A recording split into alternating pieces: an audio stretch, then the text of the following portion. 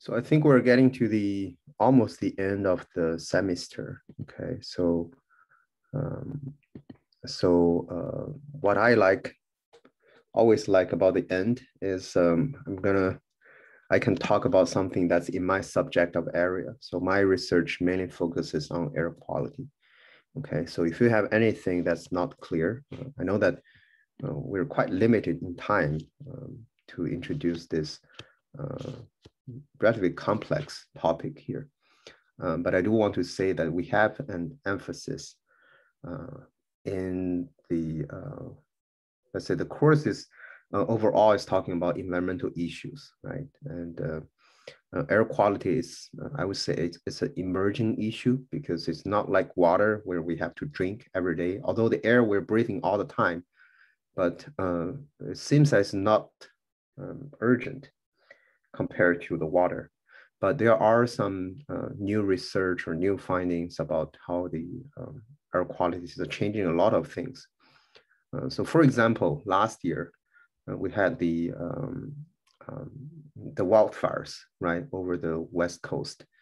So the wildfires generates a lot of um, these toxins, for example, particulate matter into the atmosphere. It's changing the air quality and also the climate in there. Basically, um, it's forming a lot of clouds, right? And then uh, maybe it's also changing the rainfall or the precipitation in those areas. I think in, in the end of 2019, there's an outbreak of the um, lung diseases associated with e-cigarettes. I don't know if anyone of you uh, use that uh, device or if you're using that, just quit it, okay? Uh, because we are also doing some research uh, about um, the aerosols or, or, basically the composition of aerosols or particles generated from those e-cigarettes. And we found a lot of heavy metals. So basically, um, for the FDA, they set up a standard. Let's say uh, for every day, if you want to administer any aerosolized medicine into a human human lung, for zinc, um, the standard was set at 10 nanograms. So every day, if you want to uh, aerosolize, let's say, um, if you have allergy, you want to generate some nanoparticles to as a remedy to, to uh, heal yourself, um, the limit was set at 10 nanograms. So any medicine cannot go over that. but we found that for e-cigarette, for one single puff, so one inhale, that's almost 25 nanogram. So um, which is very, very uh, risky for people to take that. Uh, but of course, you, if you're interested in these uh, research projects, feel free to talk to me. And I would say one thing that's uh, really making the air quality research um, quite outstanding uh, is the COVID. Okay, so uh, now we have more evidence showing that transmission of the SARS-CoV-2 virus was done by droplets as well as aerosols. So it is airborne, right? And because of that, the air quality indoors is going to be very important. So that's why our school uh, have replaced all our filters, right, to change it to MERV 13 filter, which has pretty high efficiency in capturing those particles. And at home, um, we should use this, uh, those air cleaning devices as well. And for example, if people have to wear masks, it's because the masks can block the particles generated from breathing, generated from speaking and coughing, right? So everything is uh, quite related to air quality and uh, have to say that we got quite a lot of attention during this pandemic uh, because of the research, right? Um, so now I think we can get started. Um, so uh, we're going to continue on the discussion of the uh, air pollution, right? So this is, um, I would say, the second part of the overview regarding the air pollution. Um, so last class, we briefly talk about the definition of air pollution or the definition of air pollutants, right? So we say that the air pollutants are something that's causing damage to human, to plant, to properties, to animals, or to the uh, enjoyment of the uh, lives, right? there are something that's causing this damage, but if we don't know about it uh, yet, so it's also those substances that may be harmful to human human health, to animal, or to uh, properties. If we don't know, if we're not uh, certain about its damage, we can still categorize them as air pollutants. We're going to show some examples on that. Um, so because there are so many types of, types of air pollutants, uh, that's why people chose the most important six of them. Uh, we call them as criteria air pollutants. Okay, so here I'm going to give a quiz about which one of the following is not a criteria air pollutant. So let's take a look.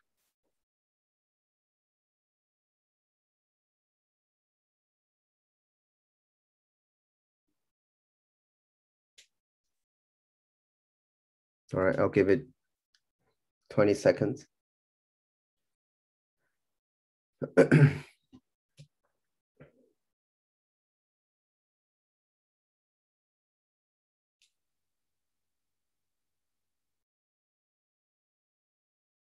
Okay, five more seconds.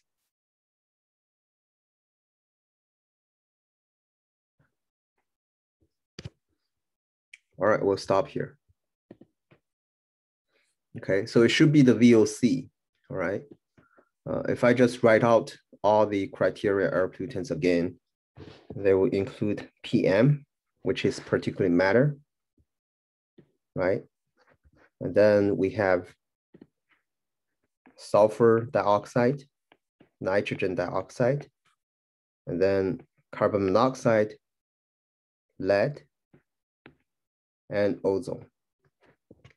Okay, so these are the criteria air pollutants. Those are the most important ones.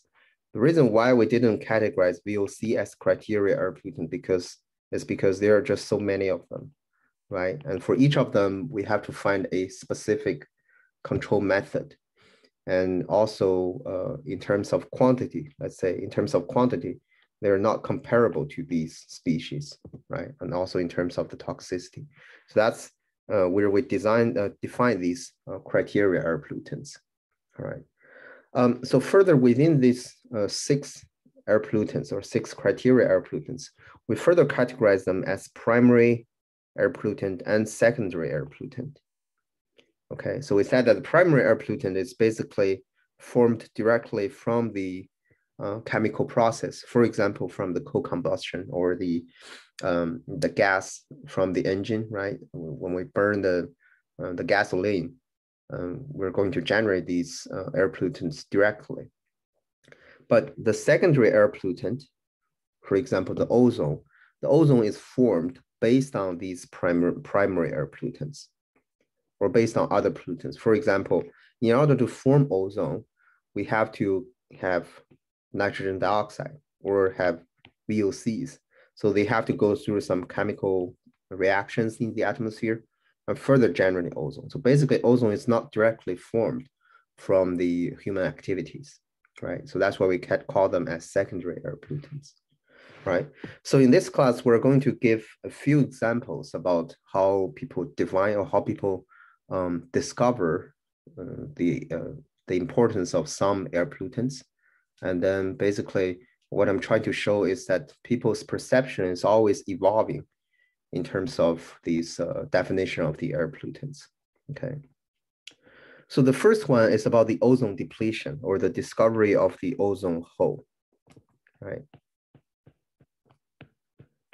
So this was a very important finding. And uh, because of that, um, there were three uh, chemists or the three, I would say three environmental engineers or scientists um, co-shared this uh, Nobel Prize in chemistry in 1995.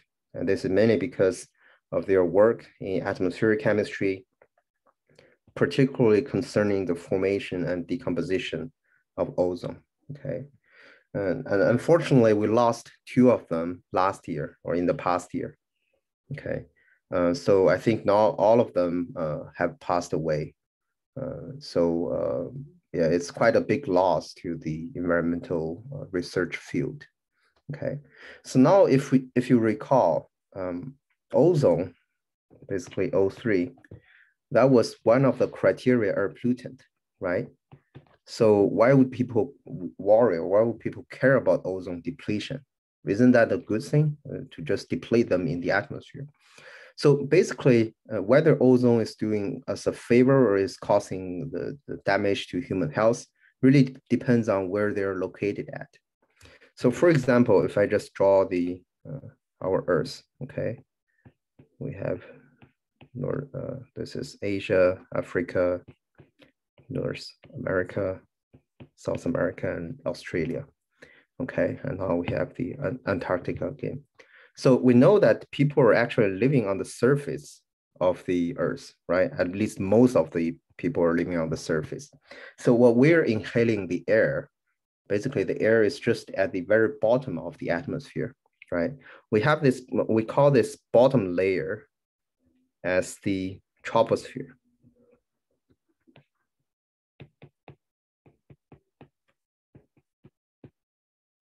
So generally the troposphere has a thickness of around five kilometer to 10 kilometer. Okay, so near the polar region, this is uh, almost, I would say around five kilometer. And near the equator region, this is around 10 kilometer. So you can see that basically, uh, I would say all of the people, all of the human being, all of the animals are living within the troposphere. So we're just inhaling the air in the troposphere. And actually the ozone in the troposphere is damaging the health, it's damaging the uh, respiratory system, it's also killing the plants or animals, right? And that's why we call it an air pollutant. But our atmosphere is not only about troposphere. So basically above this layer of atmosphere, there's another layer.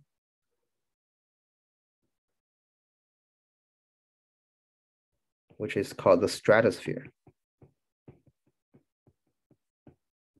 Okay, so um, although um, these two layers are just getting in contact with each other, but the transport of the gas, let's say the transport between these two layers are very limited. The transport rate is very limited. And this is mainly because the stratosphere is generally hotter. Okay, so in terms of temperature, it's warmer compared to the troposphere. So it's basically stopping the transport of the of the uh, stopping the transport of the air pollutants or the air species from different layers.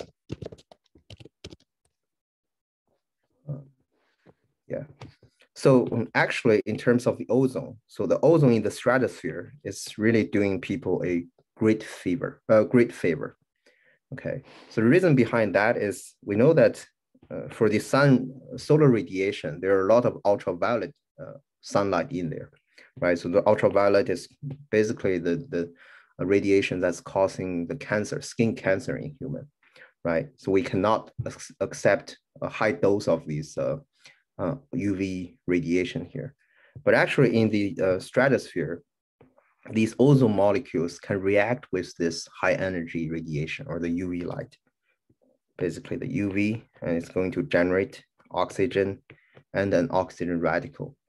And then this oxygen radical can combine with the, um, uh, the oxygen molecule again to form the ozone. Okay, so here I should uh, also write out heat. So basically it's converting this high energy uh, UV radiation into heat while the ozone molecule is conserved here. So now you see that the ozone is cycled, right? It's just uh, reducing this high energy UV uh, light into, um, uh, into the warmth of the stratosphere right? So in this way, it's protecting all the lives on the earth. Um, so it has been the case like this until um, I would say industrial revolution, right? People started to utilize the chemical engineering to basically synthesize a lot of materials that are not existing on the earth. So people found that the ozone depletion is actually happening in the stratosphere. And the main culprit or the major factor that's causing the depletion is called the CFC. So CFC stands for uh, chlorofluorocarbon.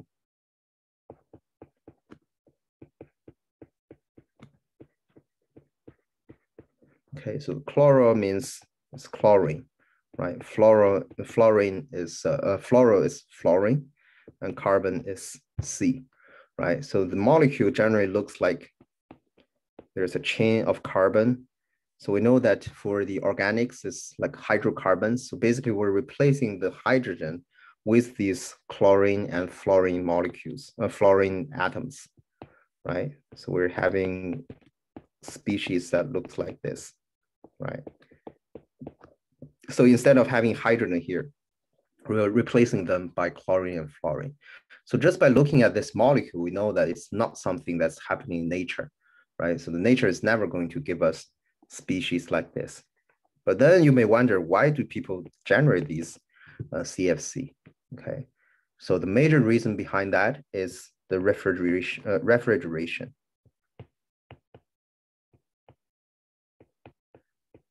So basically to preserve things, right, to generate the cold temperature. So you have to know that um, the formation of the CFC is actually a major breakthrough uh, or a major contribution to the human society near around 1920s.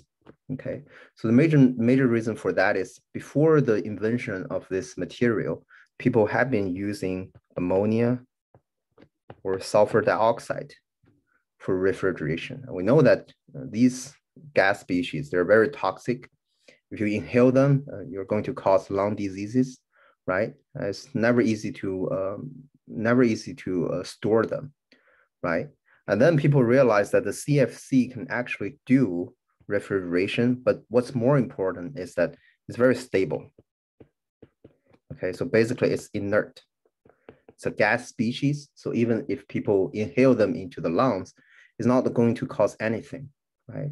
So that's why people thought that CFC basically solved a lot of things. And if you check, maybe 20 years ago or 30 years ago, there are still fridge that's using the CFC as the liquid or as the cooling liquid or refrigerant inside, right? But then mm, actually people realize that the CFC is stable. It is stable when it's existing in the troposphere. But once it gets into the stratosphere, it's causing a lot of damage. So basically what happens is that once the CFC gets into the stratosphere, right, it can react with, also react with UV light. So basically you're going to form a chlorine radical and then the rest of, the things, right? So what happens to the chlorine radical is that they are very reactive. They can react with ozone directly to form chlorine oxide and then uh, form a oxygen. And at the same time, the chlorine oxide can react with the oxygen radical. You see that oxygen radical is being produced in here. So there are enough oxygen radicals. So we can form chlorine radical again, and then an oxygen. So if you see this reaction here, right, we're generating chlorine radical, and the chlorine radical is not consumed anywhere in this reaction what happens is that it's going to endlessly convert ozone into oxygen. Okay. So basically within the stratosphere, uh, the, the CFC can cause a lot of damage. And as we said, there are limited transport, right? So which means that the CFC is not very easy for them to get into the stratosphere. But if you imagine once one molecule of CFC gets into the stratosphere, they're not going to kill by any reaction. They're just going to consume um, or, or treat these ozone molecules as endless food, right? You're converting them into oxygen while the chlorine radicals not being consumed at all. So basically this is causing a lot of concern. And um, because of that, um, people have done measurements. So for these three scientists, they have done measurements using the satellite data to monitor how is the ozone concentration over the atmosphere. So we they basically found something that's very alarming. So here, uh, what is showing is the satellite um, data, basically the data captured by the satellite uh, that's showing the ozone concentration in our atmosphere. So you can see that in the year of 1979, you can see that there are some low concentration uh, concentration regions of the ozone, but I would say almost 30 years later, you see that we form this giant ozone hole, okay? And this is because of the CFC. It's just consuming the ozone um, without any ending, right? And then you may wonder, why does the ozone hole is happening in the polar region? right? This is mainly because our Earth is always rotating. It's from the west, rotating from the west to the east, right? It's rotating this way, right? So the air near the equators are very turbulent. So basically it's always moving. But once the air gets into the polar region, you can see that as a, let's say a dead corner, a dead spot, right? So the air is not going to transport anywhere. They're just going to concentrate in this region and the same for the CFC. So CFC is just going to concentrate in here and consume ozone on and on, right? So because of that, you can see that some region in South America, and now people living there are exposed to the UV radiation. It may cause uh, damage to uh, human health, animal life, and so on, right? And because of the urgency of this issue, so a lot of countries, I think all the countries under the United Nations, um, they sit together and then formed a protocol that basically tries to ban the CFC. Okay, so, and also they did it, all right? So this is called the Montreal Protocol.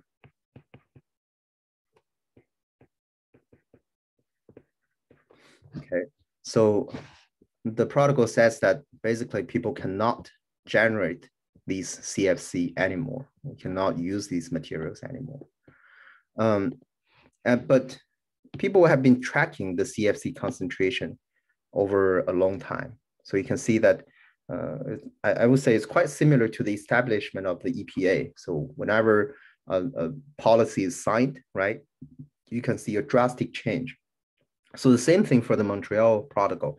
It was signed in 1990, right? So you can see that starting from 1990, all of these, or at least one type of this CFC uh, stopped increasing, right? So you, you see this steady or linear increase, and then after 1990, the concentration stopped increasing. But it's not like uh, uh, other gas species where you stop emission and the concentration is going to drop down. So one thing we mentioned is that the CFC is very stable in the stratosphere, right? Nothing is going to consume them. So basically, even if we stop the emission, their concentration is still going to be quite high. And the decrease of this concentration is likely caused by the fact that they're penetrating from the troposphere into the stratosphere. Okay, so they're getting leaked into the stratosphere, which means that uh, this ozone depletion is going to happen uh, for a very long time, right? So because the CFC is going, uh, basically they leak into the stratosphere and then they're going to destroy more ozone uh, in there, right? So you can see that our perception is evolving regarding the this chemical here. We thought that it's a lifesaver, right? From the uh, advanced chemical engineering. We found a very powerful material that can improve our, our daily life. And then as our knowledge further evolve, right, we found that there is stratospheric ozone that's protecting us. And at the same time, the CFC can destroy these uh, stratospheric ozone. So that's why cause we, it leads to the, um, the effort that tries to basically decided to ban the CFC, ban this chemical, right? So um, that's why the definition of the air pollutant is always evolving, right? So now we can definitely define the CFC as the air pollutant, right? So um, another one that's quite controversial, but also very important is the greenhouse gas species. So this is the second example for how humans are actually influencing our uh, air quality. Okay, so the greenhouse gas species or the greenhouse gas is actually leading to the climate change.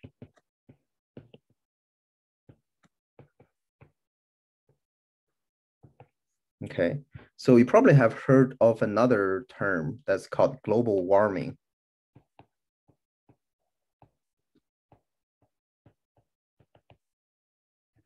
So basically, they're talking about the same thing. It's the um, emission of the greenhouse gas species, right? It's causing the, um, I would say the global warming is the, uh, the warming of the average temperature on the earth. And because of that, it's going to cause the climate uh, or the change of climate at all the different locations, right? So people use this global warming term quite a lot when we first discovered this issue.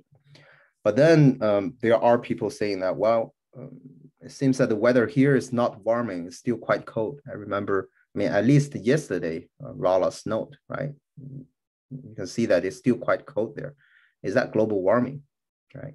So um, there are cases like these. Uh, basically, it's not uh, uh, it's not intuitive to call warming. So that's why we change to another term that's called the climate change because it's very rare to have a snow uh, in late April, right? That is a change of the climate. So um, a lot of people actually have some misunderstanding about the climate and the weather because when we say it snowed, we're talking about weather, right? The weather can be on a daily basis or even hourly basis. If we, if we talk about the tornado, right, it's just developing in hours. But the climate, we're talking about in a much, much longer time scale. It's talking about hundreds of years or thousands of years. Okay, so you may say that, well, 100 years is too long for me, right? I don't care what happens to 100, uh, 100 years later. But if you just think about human generation, 100 years is, I would say, maybe three to four generations, which is not really far from us, right? So we need to still think about this and just uh, do not concentrate on the on the energy or on the, on the environmental issues on or on economy under the time right now, but just also think about what is going to happen um, 100 years later, right? So uh, the mechanism or the major reason for this uh, global warming is quite, uh, I would say, is quite straightforward if we know some fundamental physics.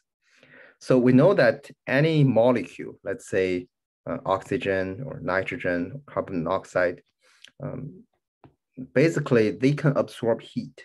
So they absorb heat because of the vibration of the uh, molecule, right? There are specific uh, wavelengths of the energy that they can absorb. Okay, and at the same time, we know that our sun is actually emitting radiation in all the wavelengths. So if I have the x-axis at the wavelengths and the y-axis as energy, so W. So we, we know that a large fraction of the solar radiation is in the visible range right? It's giving us the color, right? At the same time, for the shorter wavelengths, we said it's the UV, ultraviolet, right? And for the longer wavelengths, uh, people call that infrared or the uh, microwave, right? So the infrared or the microwave are generally shown in the form of heat, so that's why we use the microwave in our home to warm up, let's say water, or warm up the food, right? It's because of the wavelengths of that energy. Um, so what happens is that um, our Earth actually gets warmer because we're absorbing the microwave that's emitted from the sun, okay? So um, we're using this fraction of light or this fraction of radiation to keep us warm, right? So now you can see that which molecules are actually helping us to keep warm. So the water vapor is one of them. You see that water vapor. So here in this graph, the x-axis again is showing the wavelengths. The y-axis is showing the percent absorbed. So basically it's how much percent is being absorbed at this wavelength. So you see that water vapor is quite helpful in, in uh, making our Earth warm, right? So uh, basically it's absorbing light at all different wavelengths, right? So this is uh, one reason that our Earth is warm, but I think the major reason is because of the uh, what what they say the black body radiation. So we're absor basically absorbing all the wavelengths uh, of the radiation that's come and then that's then converted into heat, right? So um, basically you see that water vapor is one of the greenhouse gas species it's actually quite effective. But then the carbon dioxide, you see that it's absorbing radiation that's not being absorbed by water vapor. Um, but what's more important is that the carbon dioxide can exist in the uh, atmosphere um, basically at all altitude. So the water vapor can only exist at the surface of the uh, of the ocean, right? But the carbon dioxide can be emitted at all different altitudes. It can exist in all different altitudes. So because of that, um, basically, if you consider what's happening on our Earth again, right? The sun is here, right? It's emitting radiation. So the more carbon dioxide we have on our Earth, we're going to absorb more infrared radiation, basically more heat.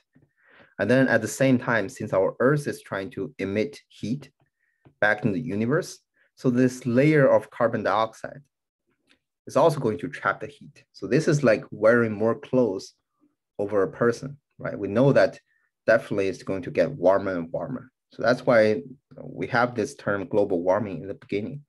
But um, I would say the warming effect will happen if our Earth is just a ping pong ball, or if it's just a billiard ball, right, or, a basketball.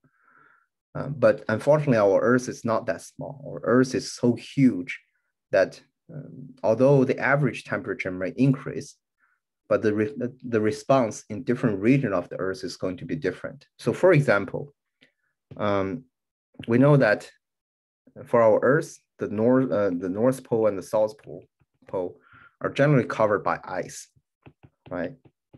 So we know that if the temperature gets warmer, the ice is going to melt into water, especially for region like here. Let's say region here, right? The ice is going to get melted. We know that the melting process is going to absorb heat. because it's releasing the latent heat inside, right? If it absorb heat, so what people feel if they live in this area is that it's going to get cooler. It's not necessarily getting warmer, right? So because of that, uh, people are not going to have the same perception or the same feeling in terms of the temperature if they live in different region of the world. So that's why, uh, although we say it's global warming, it's not necessarily leading to the warming at any location of the Earth. So, uh, but at the same time, you see that if the ice is melted from the polar region, that's going to definitely cause a, a change in the climate, right? Overall, it's not going to be the same uh, anymore, right? So this is again a very um, important issue that people have to face now and but what's more alarming is that in terms of the concentration for the greenhouse gas species, and here especially about the carbon dioxide, people have been measuring their concentration for a very long time. So this curve is also called the Keeling curve. I'm not sure if you have learned this uh, content from other classes. So basically, this is the measurement of the carbon dioxide concentration in uh, Hawaii in Mauna Loa uh, Observatory. So the reason why we monitor the carbon dioxide there is because there are very few human emissions. Okay, so it's basically measuring the carbon dioxide concentration over the ocean, and there are not a lot of human activities. So if you can imagine, if we just measure it in the city center, then the carbon dioxide concentration will be much higher because there are a lot of cars, right? There are a lot of engine emissions or combustions happening. Um, so because what we're measuring at these relatively clean locations, we can observe, um, let's say, a better or representative uh, state of these uh, of this greenhouse gas species, right? So you can see that starting from 1960, when the uh, measurement started, you can see that the carbon dioxide concentration increased almost exponentially, right? So this is stopping at 2019. So actually, if you just search for Keeling curve on Google, you can find the curve for uh, right now, right? So they're updating the figures every day. Um, so I think that a few days ago, uh, there was a Twitter post uh, showing that the average concentration for 2021 actually reached 420 ppm. So it seems that people are not doing anything, although it's uh, it's a it's a very severe issue, and we have to face it. There are so many meetings being called, right? So many plans being made, but we never put it into act, right? So um, this is very alarming. This is a, also a very sad problem if we don't just don't face it, right? So if we just further look at this Keeling curve, you see that there are a lot of zigzags, right? There are increase, decrease, increase, decrease. So these zigzags are actually caused by the seasons. It's not caused by the, uh, let's say the emission over the entire year. So basically what happens when the uh, carbon dioxide concentration decrease was because uh, Mauna Loa is located in the Northern hemisphere, right? It's located here. So when it gets to the summer season in the Northern hemisphere, so the photosynthesis are going to, basically the vegetation are going to absorb more carbon dioxide. So that's why the carbon dioxide concentration decrease. But when it gets to the winter, when all the leaves are um, just fall down and then they die off, right? So they're returning these uh, fixed carbon dioxide back into the atmosphere. So that's causing this increase of the carbon dioxide again, right? So it's because of the season. But you may also wonder, well, we have two hemispheres, right? Is if this here is summer, uh, then the southern hemisphere will be winter, right? Uh, but still, they're not going to compensate each other, mainly because the area of the continent uh, is so different, right? So the northern hemisphere has much larger area for vegetation, but in the southern hemisphere, we just have very small um, area for to grow these uh, grass or these uh, trees, right? We have a large continent in the South Pole, but uh, it's just always covered by snow, right? So these are the smaller features in the Keeling curve. Um, so because as I said, there are quite many meetings uh, getting called. And I think that one of the most important thing, uh, most important meeting was the one in 2015, where people called the, where people signed this Paris Agreement or the Paris Accord.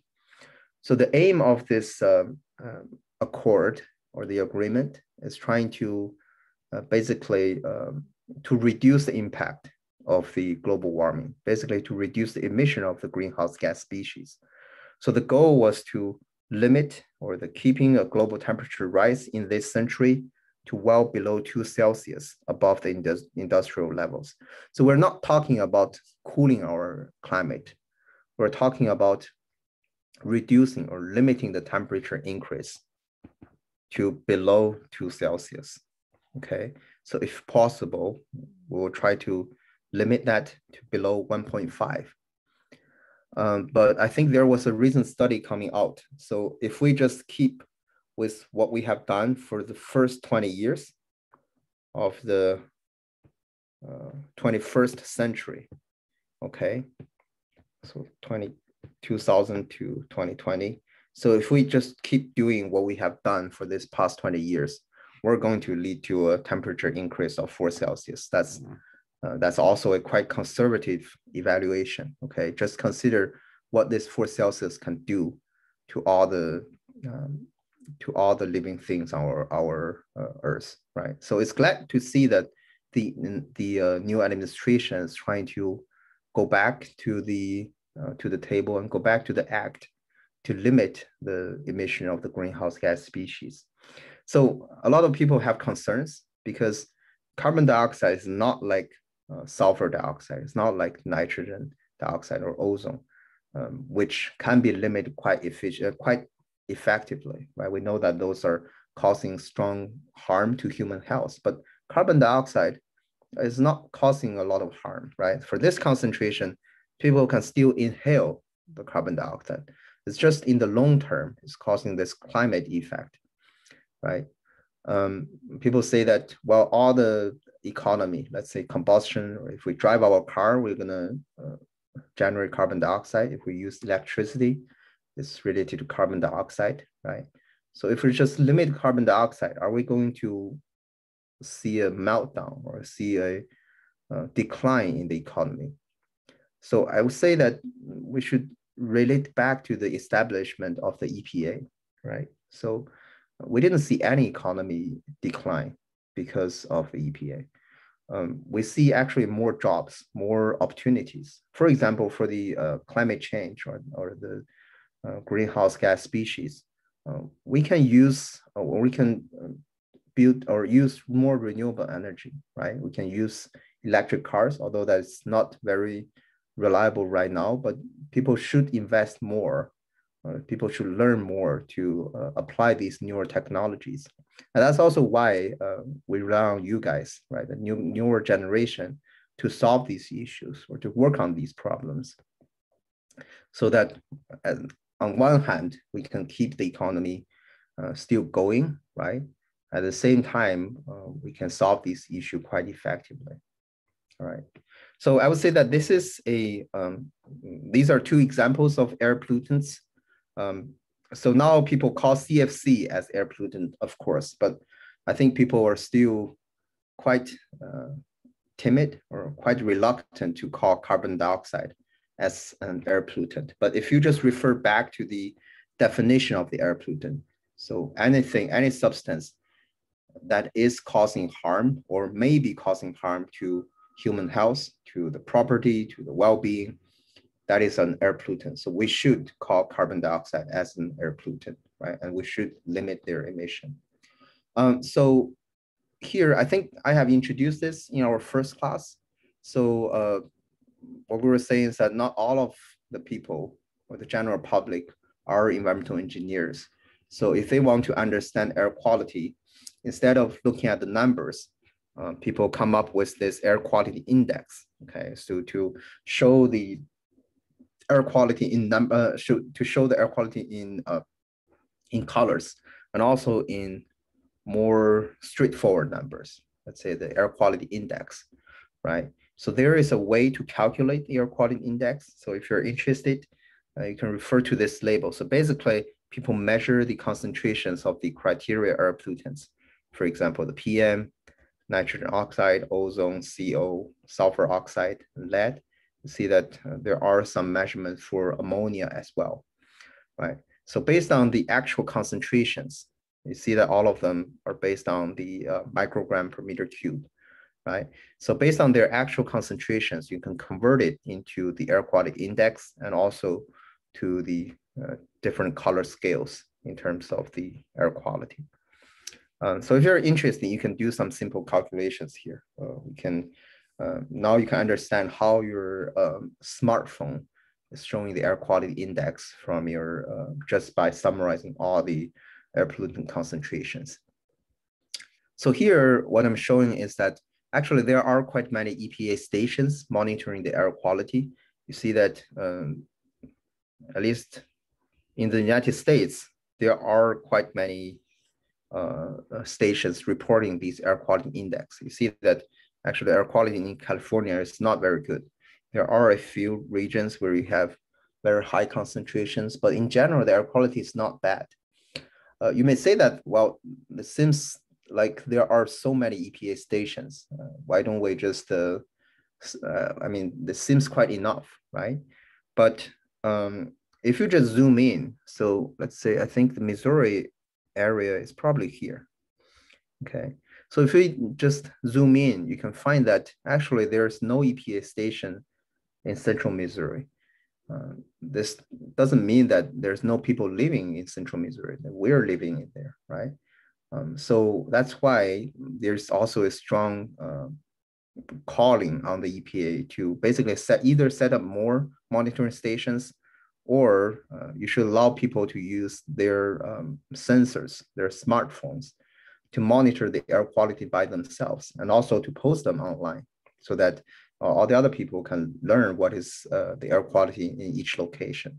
So this will also involve a lot of efforts, let's say in data science or in a lot of the different subject areas. Um, so I would say that there are still quite a lot of challenges ahead, right? Um, so we can use the rest of the time to briefly talk about the particulate matter. So now we're going to talk a little bit more on each of the criteria air pollutants and how do we control them. So the PM is defined as the suspended particles or liquid in the air, right?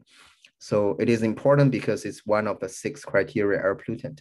But the reason being, uh, reason of it being the criteria of air pollutant is on one hand, because of the health effects, right? It's causing allergy or asthma when we inhale them into the lungs. But at the same time, the PM can cause all the different uh, effects. So for example, the particles in the air, they can scatter light. And actually, they give our sky a blue color, or let's say during the daytime and give us a uh, yellow or red color when it's at sunset. It's because of particles.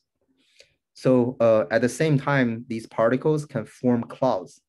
So if you just look up the sky and then uh, and then saw a lot of clouds, they're not only water. So if you evaporate them, there are particles in the center. So we also call these particles as cloud condensation nuclei. So they can form clouds. And we know that the combustion, let's say the wildfire generate a lot of particles, right? The particles, if uh, they exist in clouds, if you have enough of water, then it can cause the rainfall. As we said, it's causing the health effects.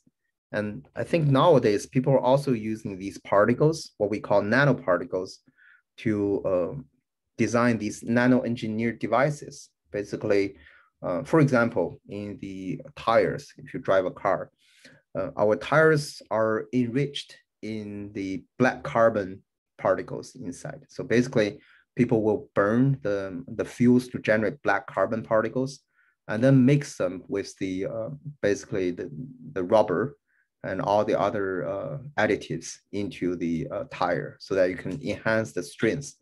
So for example, for the in terms of cosmetics, uh, for the sunscreen, next time when you look at the, the label in there, uh, you can see that it's mixed with zinc oxide nanoparticles. So it's also particulate matter.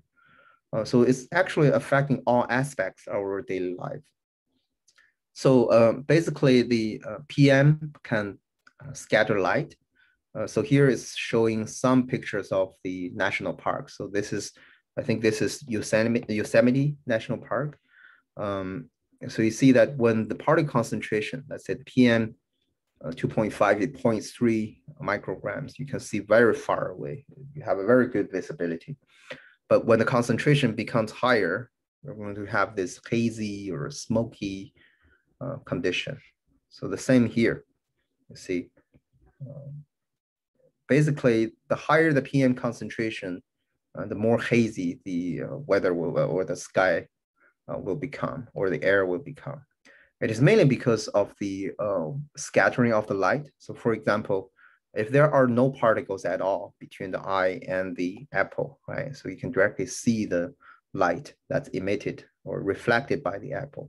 But if there are just so many particles, then the light is going to get scattered and then going to all directions. So on a hazy day, you're not going to see that apple anymore, right?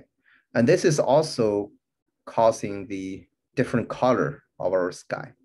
You see blue sky, you see yellow sky, so in the space, you don't see any sky color, right? It's just black.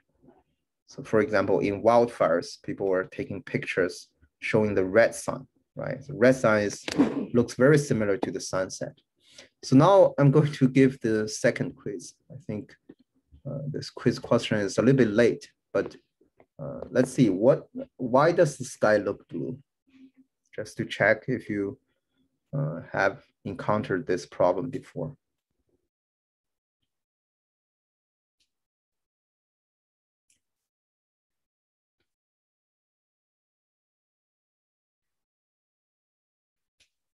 Yeah, maybe I've already tell you the answer when I introduce the last slide. okay, five more seconds.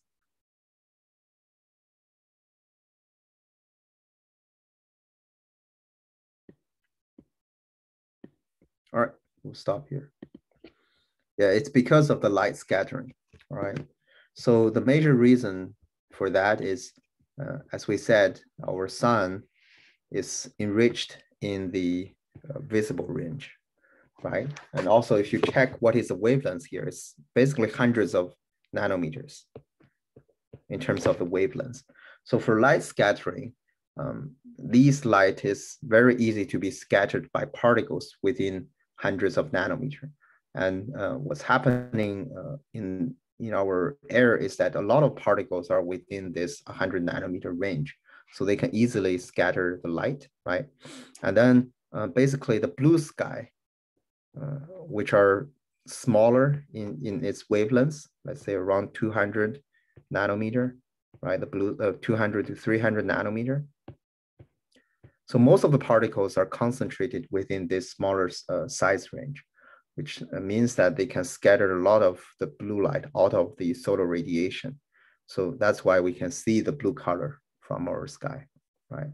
So the same principle applies for the um, for the sunset condition, right? So this is about light scattering. Um, and I think that one important um, application of the particles uh, or the PM is its size and also how fast it uh, down in the atmosphere.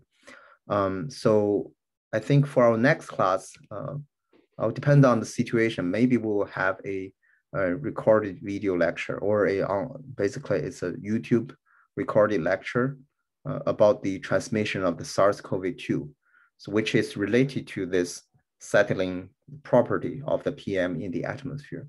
So I'll keep you updated. Uh, we'll see whether our next class will be a lecture or we're going to just use that YouTube lecture. All right. Uh, I'll talk to you uh, during the week. All right.